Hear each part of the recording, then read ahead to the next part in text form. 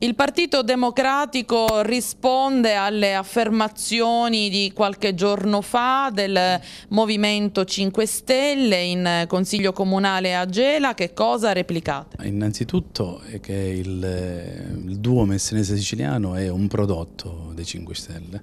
e quindi se oggi eh, Gela si trova in queste condizioni, risultati scadenti sotto qualsiasi punto di vista, la responsabilità è da debitare sicuramente ai 5 Stelle e quindi si dovrebbe soltanto eh, loro vergognare, chiedere scusa alla città assieme a questa amministrazione per i danni che stanno producendo al nostro territorio. Ritengono che il Partito Democratico stia sostenendo la giunta messinese? Ma completamente, ne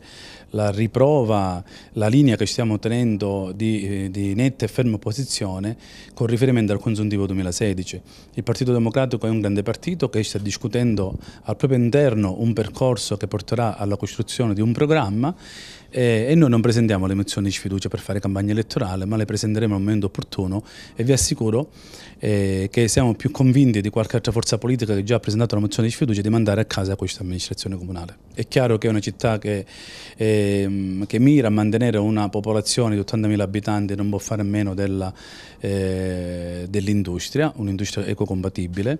ma è chiaro, basta leggere, eh, leggere la stampa, basta andare alle, alle conferenze programmatiche che questa amministrazione comunale non ha la forza, non ha il peso politico per portare avanti le linee di sviluppo indicate in quel protocollo d'intesa che già di per sé si tra trattasi di un protocollo inadeguato a mantenere i vecchi livelli occupazionali, ma poi noi notiamo che ci sono ritardi sotto